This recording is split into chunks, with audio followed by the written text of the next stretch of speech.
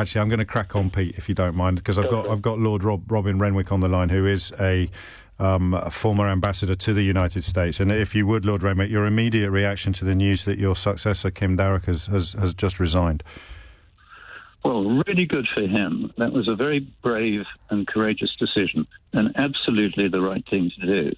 I mean, it's no use pretending that after having had all his confidential dispatches leaked, including all his comments about the president, that he could go on doing his job in Washington. So all this stuff we were hearing last night and yesterday about how he should carry on for another six months was frankly absurd. He wasn't going to be able to do his job. He wasn't going to be able to meet the president or any senior figure in the administration. So what was he going to do? So well done, Sir Kim. I mean, but you know what this shows more than ever is that the leak inquiry in this case uh, doesn't want, must not be one of these. Oh yes, well we tried, but we couldn't find out who did it. Things.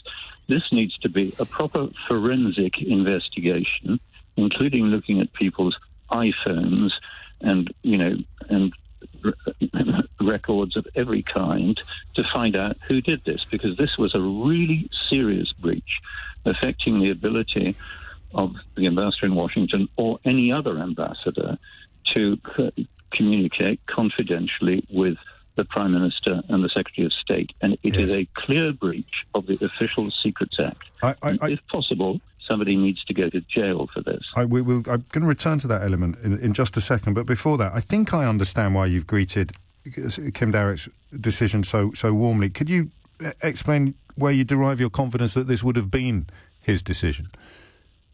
Well, I'm, I'm certain it was his decision. We had the Foreign Secretary yesterday uh, saying he should carry on, and he had his full support and so on.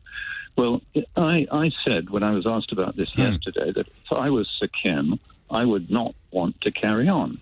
Uh, I would say I, I'm going, you know, because how can he fulfill his role as an ambassador if he can't see the president or any cabinet mm. ministers or the chairman of the joint chiefs or the national security advisor? What's he going to do? Go to cocktail parties or what?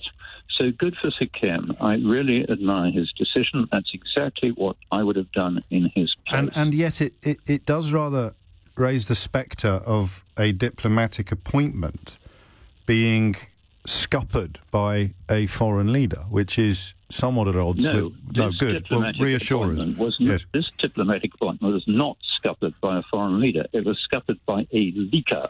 But if, one, if Donald Trump had come out, forgive, forgive me for interrupting, I just want to clarify my question. If Donald Trump had come out and said, well, of course, uh, we know that diplomats send messages, both positive and negative, back to their home countries all the time. You, you, know, to be flippant for a moment, you should see some of the stuff my ambassador said. If, if in look, other words, look, he dealt with it like an adult, the situation on, wouldn't have on, escalated. If somebody said that you personally yes. were inept and radiating insecurity, happens every day, Robin. Cross, you'd be just as cross about this as Donald Trump, and you mustn't be surprised at his reaction.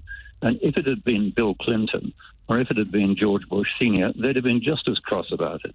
How many eyes would have seen these documents, in your opinion? I appreciate we can't go definitive on this, but but I mean, not. Yeah, well, not all that many. I mean, any any nonsense that this was done by the Russians or something is complete rubbish. It was done by an insider. Uh, the Russians would have to have access to all our diplomatic cables to produce this little treasure hmm. trove. So the leaker you in saw what came out really on WikiLeaks. Feel, you saw what came out on WikiLeaks. They, I mean, yes, they had I they did. had access to confidential films that had been taken by the U.S. military. Yes, the idea that they couldn't hack British government emails. That was also treasonable, and if Mr. Assange finds himself back in the U.S., he will go to jail, mm. which is what he should do. But we're talking about this case, and the person who did this, causing Darroch to resign, not Trump, the leaker, mm. needs to feel the hot breath of an investigation on his or her neck. And what criteria will the Prime Minister employ now in looking for a successor? And how will any successor ever have the confidence to send honest assessments back to Britain if, if they know that their position could be rendered untenable by those honest assessments being made public?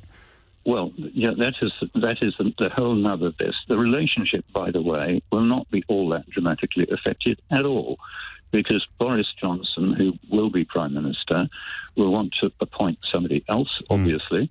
The way is now clear for that. He knows the diplomatic team. He was Foreign Secretary. So he can either choose a diplomat he trusts and likes, which, you know, and they have the experience to do it and they have the people to do it, or he can choose some political, to make some political appointment.